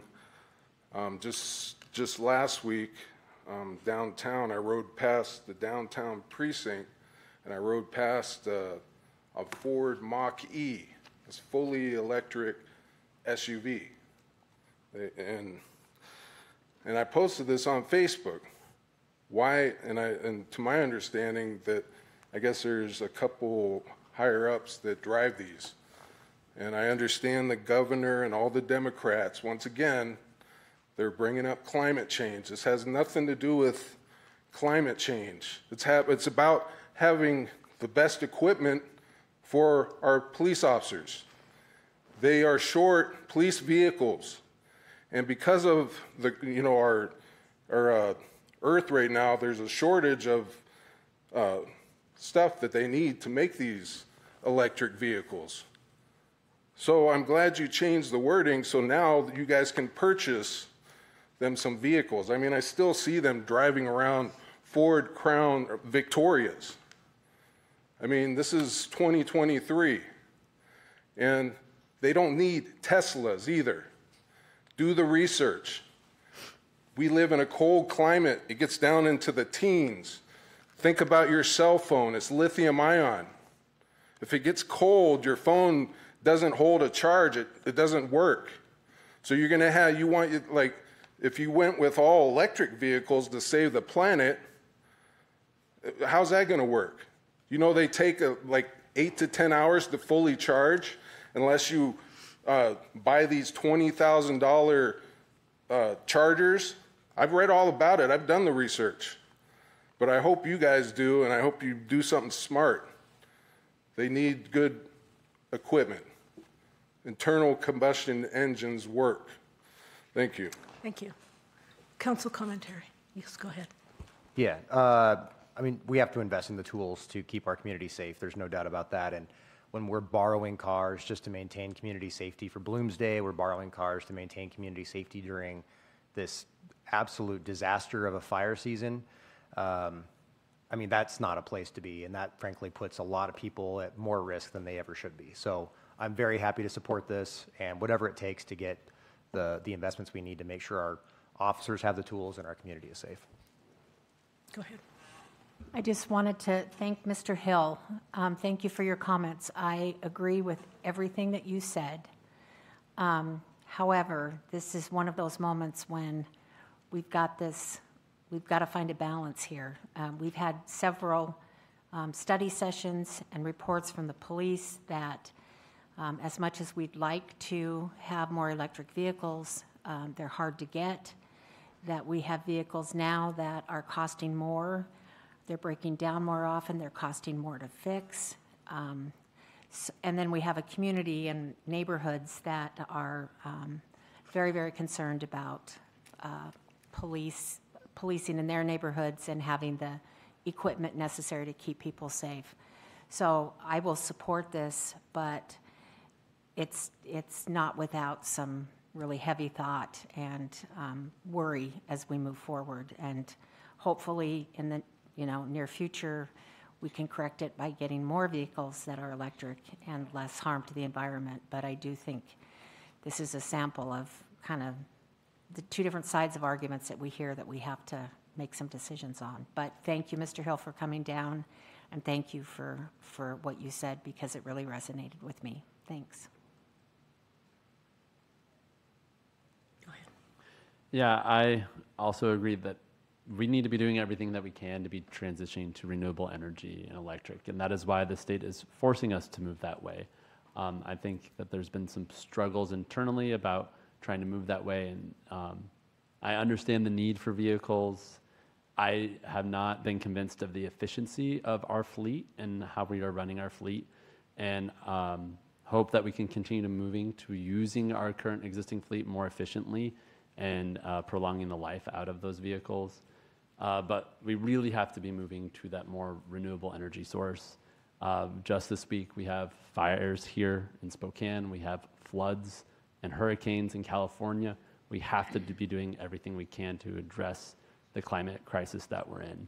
Um, but we have no other choice right now because we um, aren't really presented with other options.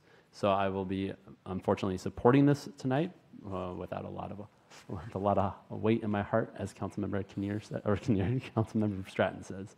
Uh, but I will be supporting this council. Were you president. confusing the two of us? You moved seats. I got confused. Okay. Okay, uh, Councilmember Wilkerson, do you?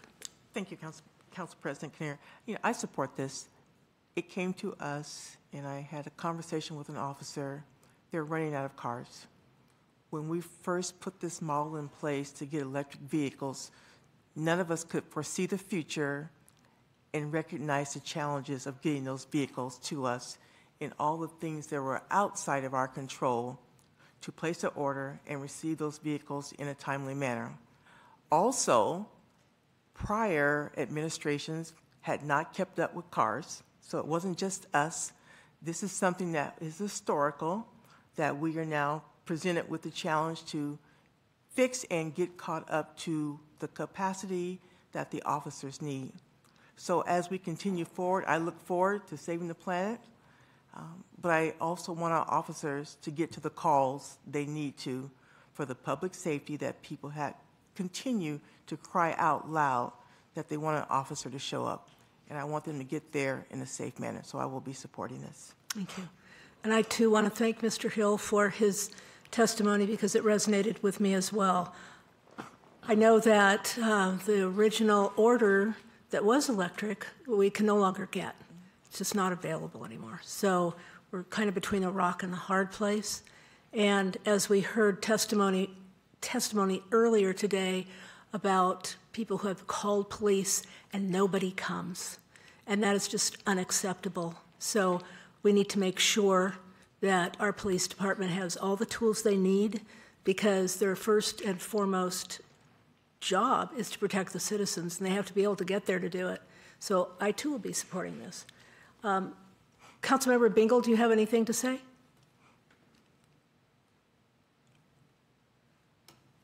I think everything's been said. I that we we hear every day about the the need police department and making sure that they have all the equipment they need to keep our our families because as somebody brought up, I do think about my kids. I do think about my grandkids and the future that they're going to have. And uh, currently, the the thing that scares me the most is, um, you know, a tragedy happening to a family here in the city of Spokane and, and not being able to have uh, those taps defend uh, the citizen being able to get there. And so I'm happy to support this and look forward to many more investments. Okay, Thank you. And just a reminder, we're taking the resolution and the ordinance together. Ms. Pfister read them both, so we're going to be voting on both of these. So please prepare to vote.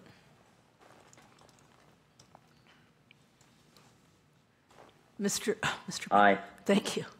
All right, 6-0. And next, Ms. Pfister. Resolution 2023-70, approving settlement of claim for damages of area Arialis Earthman and Tammy Earthman as a result of damage to their property, $105,795.18. Thank you. And this was a substantial leak. Uh, it wasn't even a leak, it was an onslaught of water into their home. So this is restitution uh, for those damages. Any council commentary? We have no signups. All right, prepare to vote. Councilmember, thank you. Six zero. And next? Resolution 2023-71, declaring the waiver of public bid requirements for the purchase of 2023 to 2024 insurance premiums for specified city insurance coverages. Okay, do we have any council commentary? All right, we have nobody signed up. Prepare to vote. Aye. Thank you. Six zero. And next? Resolution 23-72, setting timelines for adoption of the 2024 annual budget for the city of Spokane. Thank you.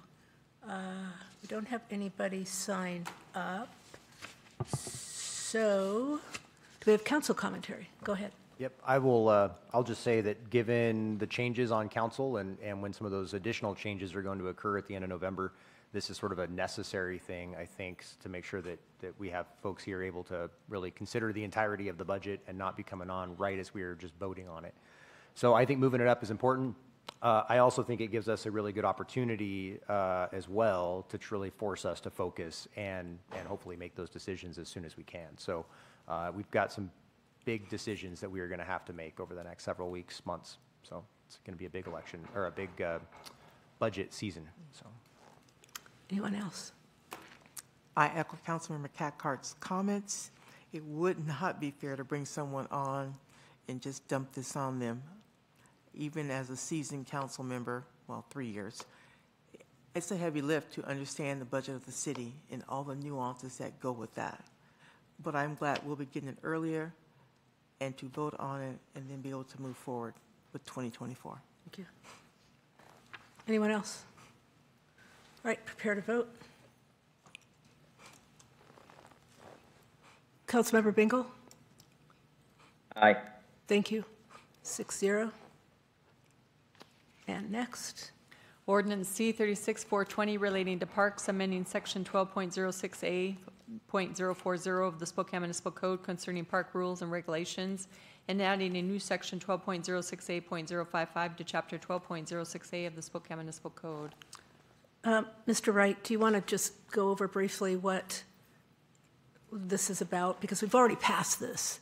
And then we made changes to the times. Parks didn't agree. So do you want to just do a little synopsis for us? Um, At Parks' request, the park, uh, excuse me, the council considered increasing the penalty for being in the park after hours from a civil infraction to a misdemeanor. In the process of doing that, the council um, changed the hours in the parks from uh, 10 to 6 to 11 to 5 a.m. Um, That was um, questioned as to whether or not it was within the council's authority, given the park board's authority under the charter. And so the park board actually asked the council to change the hours back in this ordinance. So all this ordinance does is, um, it keeps the misdemeanor provision, but it restores the hours that used to be in the ordinance um, before the council took action. And so if you adopt this ordinance, you'll be restoring the, or- the hours of 10 to 6 when parks are closed. So just to be clear, we're not voting whether to put this ordinance into place or not. We're voting on the hours, changes to the hours. I want to make Correct. sure the people testifying realize this is not about getting rid of the ordinance. That ship has sailed. We're talking about the hours, correct? Correct. All right, thank you. We have two people signed up. Uh, Dennis first.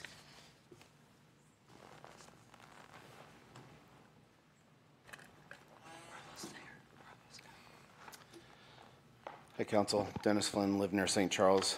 Uh, I support this ordinance. I know that um, I supported it before, and some of the same arguments against it would be made.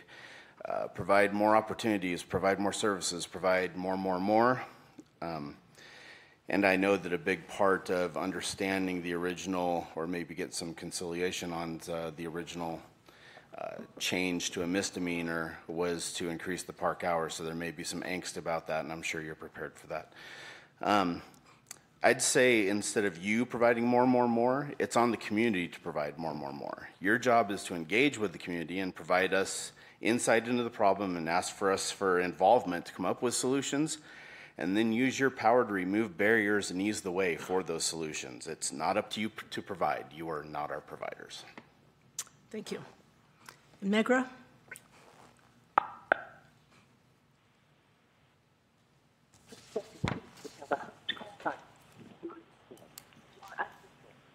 Um, as has been stressed several times tonight, this ordinance simply changes the hours of the park closure that were listed in the original uh, narrowly passed ordinance C36394. Correct. Uh, in this case, Exhibit A, uh, this ordinance criminalizes a person being in the park for different hours, for extended hours, uh, for simply being on park property during the hours of closure. This ordinance C36420 continues this criminalization for a different amount of hours, for a longer amount of hours, as was just stated. Uh, this misdemeanor increase from a civil infraction comes with an average of 270% increase in jail time. Government is by the people, for the people, we the people. This change in hours, this criminalization of people, when we have heat waves in Spokane, when we have no AC indoors, when we're looking for someplace to sleep at night because there are no shelters open, this ordinance is still not helping the people of Spokane. And this change in hours still does not affect those who engage in illegal activities, but it instead still criminalizes one of the few free public spaces left available to we, the people. Thank you. Thank you. Council commentary. You all just tired? I just would say thank you to Councilmember Bingle, Councilmember Cathcart. We've talked about this a long time, and correct, tonight we're just looking at changing the hours. Um, But there has been a lot of public discussion. I think people are aware of the increase in crime that's going on in especially my district in Northwest Spokane. Um, I did want to just say that in our last discussion and debate on this, one of the requests or issues was possibly including a sunset clause to um, end it after a year. And I sent council members an email in July um, with our legal department with their um, legal feedback on that, um, saying that it probably wasn't a good idea because um, it is, we're talking penalties, we're talking law, and um, that you shouldn't do that with um, when you're um, arresting people or when you're um, citing people. So I did want to call that to, um, I also asked council members if they had any information from other municipalities that might do that and that it's working for them, and I did not get a response on that. So that's really the only changes we made was, was the hours. Um, But I do appreciate the conversation. It's been lively and, um, but I will say that the people that I know that are living around parks right now are um, looking for some sense of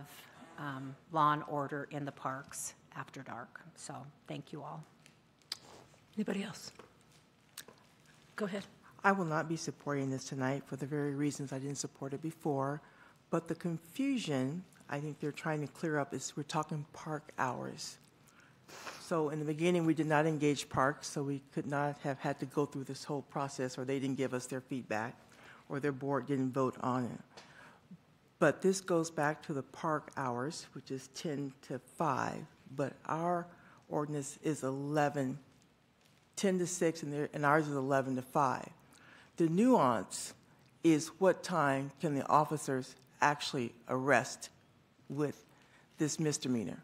So just because the park board goes back to 10 PM, what we voted in starts at 11 to 5. So I just want that to be understood by people, that it is going to cause some confusion uh, for officers or people who's not watching the clock as they go forward. Also, yes, there is an increase in crime, but it has not all been specifically in parks. And it's been during the day. I mean, it's been 24 hours. So to specifically call this out at night, I think is unfair to a lot of people who do use the park legally in the nighttime hours. And really, is it just specific parks or is it all parks? I never really got a handle on that uh, as well. So other questions that were never answered for me, and I know we're going to get data later at some point, so I look forward to that, but I will not be supporting tonight. Council President? Go ahead. Yeah, that just reminded me, one, one thing, just so folks know, uh, we do have as a, just related, since Council Member Wilkerson brought it up, we do have on my public safety agenda next Monday, a discussion regarding daytime safety in parks. Uh, It is becoming an increasing concern. Uh, Anybody who's been anywhere near Hillendale knows exactly what I'm talking about. This is really, really bad stuff right now. So we're going to have a conversation on that because that is equally important that we need to get a handle on. Okay, anybody else? I'm going to be supporting this because I think it's really important that people going into our parks um, feel safe. And if you're going in after the hours that the park has, park board has said the park is closed, then you really are breaking the law. You're not doing things that are um, not legal.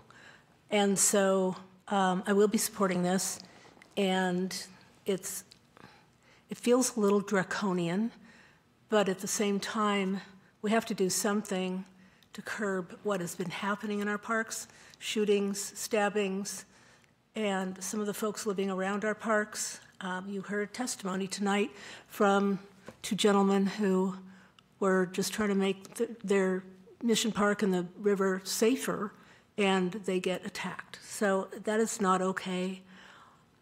So prepare to vote. Oh, Mr. Bingle, do you have, a- Councilmember Bingle, do you have anything? Yeah, just one quick question. Um, I might have misunderstood this.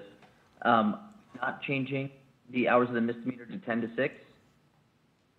What did he say? I'm sorry, can you Yes, say it 10 again? to 6.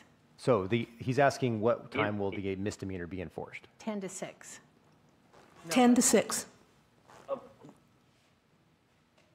Okay, that's what I thought. I just was testimony. With the exception of Riverfront Park, because that's midnight to 6 a.m.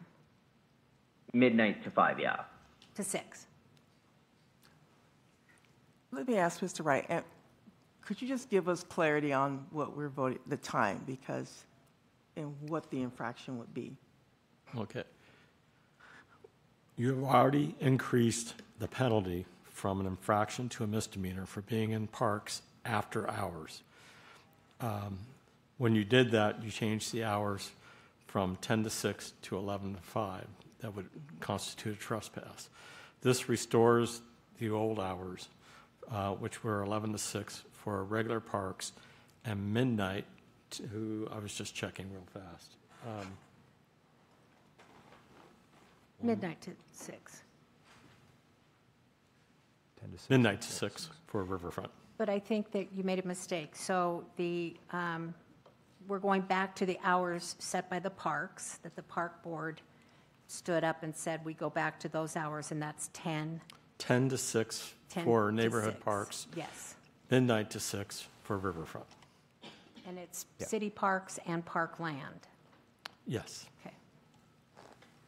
Any other comments from council? I, I hope that answered your question. Okay, so if an officer engages someone between the hours of 10 o'clock and 11 o'clock, where does that stand? Uh, It'll be a misdemeanor After 10. if you adopt this ordinance tonight.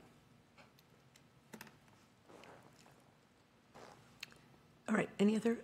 Uh, Councilmember Bingle, did that clear that up for you? Yeah, I, I was, I was sure that it was a misdemeanor from 10 to 6 or midnight to 6. Okay. Just wanted to make sure, because like I said, I, Okay. I thought that I heard, let me say that it was still only a misdemeanor from 11 to 5. I was just clarifying. Okay, good, thank you. Any other comments? All right, prepare to vote.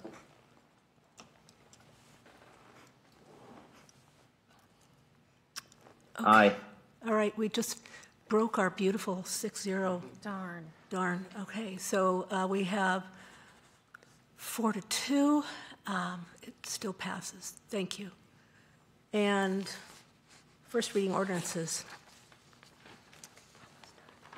Ordinance C thirty-six four twenty-four relating to the rates of the water and hydroelectric department, amending Spokane Municipal Code sections thirteen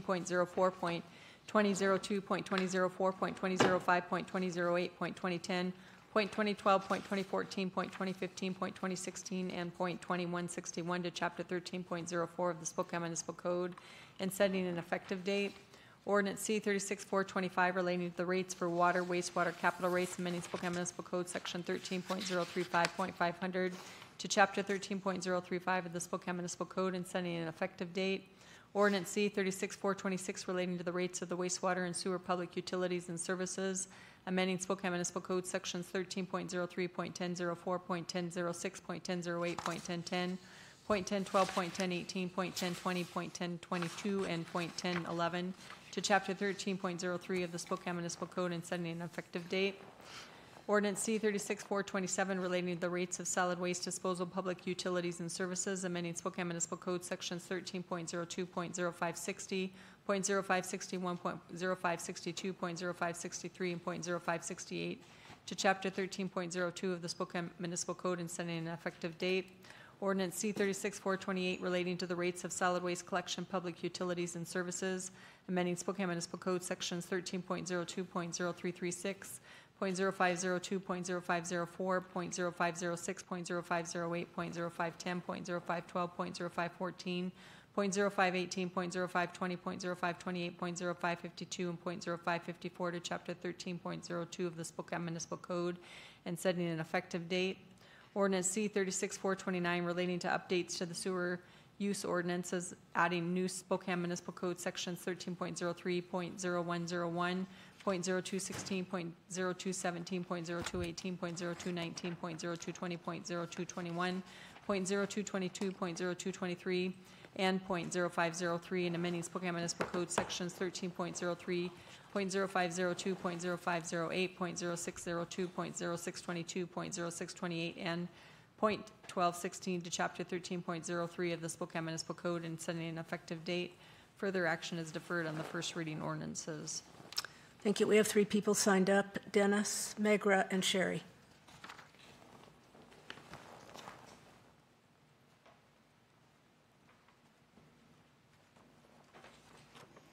Hi, Council. Dennis Flynn. I live near St. Charles. While I appreciate the decision to maintain the current water rates instead of increasing them, the 10% increase in trash rates seems high, especially when one considers that our recycling collection was recently cut in half, which would lead one to consider or think that if my service is cut in half, the expenses must be cut in half, at least on that part of it, and maybe my bill should be lowered. Um, affordable housing isn't just rent or a mortgage, it includes everything else to maintain a household, such as refuse collection. And I think we should revisit the fact that the recycling collection was cut in half, but our bills were not reduced, because when I contacted the city about this, I, I learned actually that there's very little that is actually recycled. Many of, much of what we put in that blue bin gets burned. Um, I propose it would be in our city's financial interest and in the interest of the taxpayers looking to minimize their costs, both to the city and to us, to eliminate curbside recycling and instead institute an educational program as to what is actually recyclable and include proposed options for self-collection and uh, disposal at recycling facilities. Thank you. Thank you. And Megra.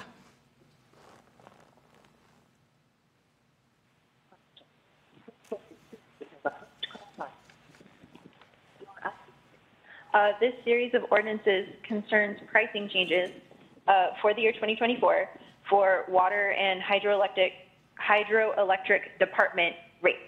Uh, The first three ordinances, ordinance C 36424, 5, and 6, these all have no change uh, from 2023 prices. They're the same, or they will be the same in 2024. Ordinance C 36427 uh, lists an increase, like we just heard, of 10% for solid waste disposal for the year 2024. What I wanted to clarify, in case other people did not have time to come through 512 pages, uh, the ordinance C36428 on page 483 of the August 21st City Council agenda lists in the summary um, an annual increase of 10% for solid waste collection.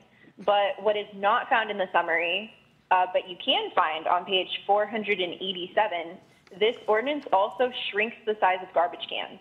The 32 gallon shrinks to 30, the 68 gallon down to 60, and the 95 gallon size shrinks down to 90 gallon. For a nice visual, in case you're a visual learner, page 489 has a graph that beautifully shows both how the prices will increase 10% and the can size will decrease to the aforementioned sizes. Thank you so much and good night. Thank you. And Sherry?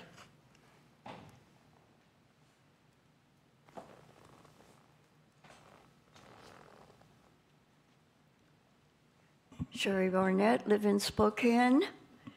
And I do love the water and the trash service. I do, though, I really hope that you can, since we're shrinking the size of the can, we're, we're, we're cutting the time that we use it and have, as much as possible, keep it down because there are a lot of people like me. I don't make near as much money as I used to make when I worked, and it isn't easy. So there should be um, perhaps even some programs put in for people who have hardship from it. But um, that is one of the services I love. Thanks. Thank you. Right, we have no special considerations, no hearings. And before we adjourn, I'd just like to say uh, and express our sympathy for the folks who have lost homes, livestock, pets, and all their belongings in the fires recently. It's truly a sad, sad day for us. And I also want to express thank you for our first responders, our fire, our police, uh, who have kept people safe. And our gratitude goes out to them as well. So thank you. And um, anything else from council? Yes. I just want to acknowledge also the American Red Cross. Yes. Who stepped up and is filling a huge need in this community. Thank you. All right, we are adjourned until August 28th, same place, same time. See you then. Thank you. Maybe we should have people.